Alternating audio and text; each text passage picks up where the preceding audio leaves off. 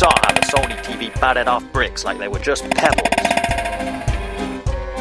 And how the Bush TV caved in after just two bricks.